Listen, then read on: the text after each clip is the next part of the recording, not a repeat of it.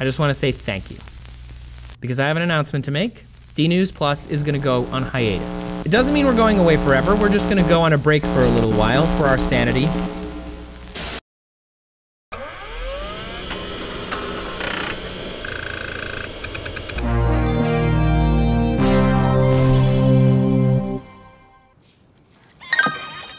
Hi everyone, I'm Trace, and if you're seeing this, it means something incredible has happened. This channel is back! and it's not just back, because this channel is now mine. I'm gonna call it Trace Elements.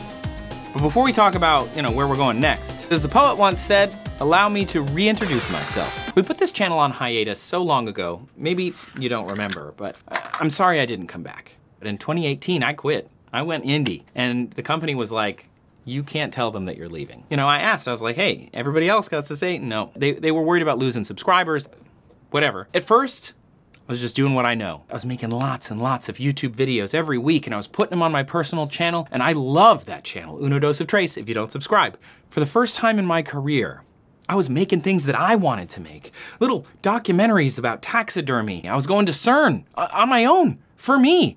I got to go down into Atlas. And it wasn't just my channel. I was doing other stuff too. I was making TV shows with PBS about astronomy. I still do that one, Stargazers. I was making digital series about nature and evolution. And dance like me at a wedding. Crazy viral videos. It was a really fun show that nobody saw. Ta-da! And medical science and animal intelligence, a show that I pitched to PBS Nature and they greenlit it. What? What? I got to work with people like Tom Scott. Trace, Good luck. And Emily Graslie. Dumb beetles are the best. Joe Hanson. Evolution freaking rules. It totally does. Extreme! Dude, evolution! It's sweet! Yo, I fangirled hard, chat. And while my time on the outside was cooking, back inside the company, Julian started uploading here, on this channel. I was keeping tabs, you know, I, I was still paying attention. But then all of a sudden, everything just stopped. And the channel went dark again and nobody kind of knew what was happening. It just disappeared. And it turned out Seeker was no more. The team had been reassigned and the channel was on hiatus again. In this case, they had no plans to bring it back. Around then, I just wasn't feeling confident in my skills and myself. I was getting work, sure, but it was in a pretty dark place personally. What if I wasn't good at this anymore? I was having this crisis of confidence. You know, what, what if I was never good at this? What if, what if I was only good because of the team and not because of, you know, yours truly? And that was tough. It was really tough. Things were dark. Uh, and it didn't help that the channels and communities that I had poured my heart and soul and sweat into for years were just sitting there collecting dust and people said they weren't good and, and people, you know, just abandoned them. I was feeling pretty low. doubting everything I'd ever built and if I'd ever build anything good again. And around then, Julian and I, because we're friends, we both live in LA, decided to get lunch and catch up. Talked about science and life and how D News was so fun and we were sad that it was gone and how fun it was when we were making things with people that we loved. We got to be silly and learn new things all the time and we got to share it with an amazing community and it was really great.